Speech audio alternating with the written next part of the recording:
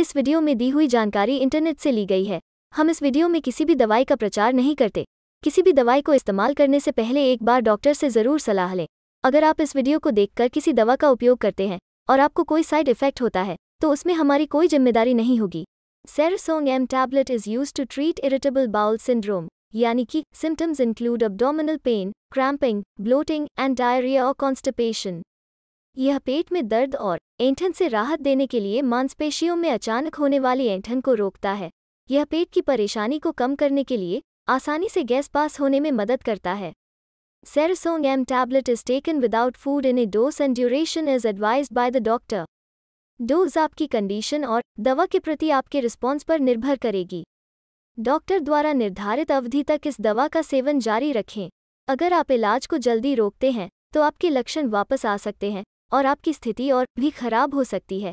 अपनी health care team को अन्य सभी दवाओं के बारे में बताएँ जो आप ले रहे हैं, क्योंकि वो दवाएँ इस दवा को प्रभावित या इससे प्रभावित हो सकती हैं।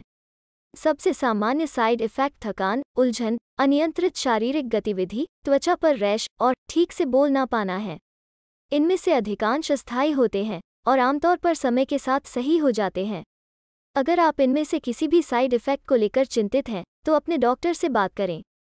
इससे चक्कर आने और नींद आने जैसी समस्याएँ आ सकती हैं। इसलिए जब तक आपको यह पता न चल जाए कि दवा आपको किस प्रकार से प्रभावित करती है, तब तक ड्राइविंग या मानसिक एकाग्रता की आवश्यकता वाली कोई भी गतिविधि न करें। यह दवा लेने के दौरान शराब पीने से बचें क्योंकि इससे आपको अधिक नींद आ सकती है।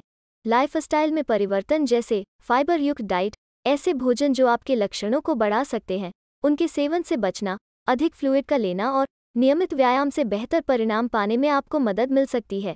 इसे लेने से पहले, अगर आपको किडनी या लिवर से संबंधित कोई बीमारी है तो आपको अपने डॉक्टर को इसके बारे में बताना चाहिए।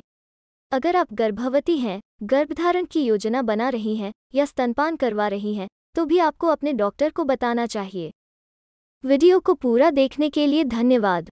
अगर आपको वीडियो अच्छी लगी हो तो वीडियो को लाइक करें और साथ ही हमारे चैनल को सब्सक्राइब करके नोटिफिकेशन बेल आइकॉन पर क्लिक करें और ऑल नोटिफिकेशन को क्लिक करें। धन्यवाद।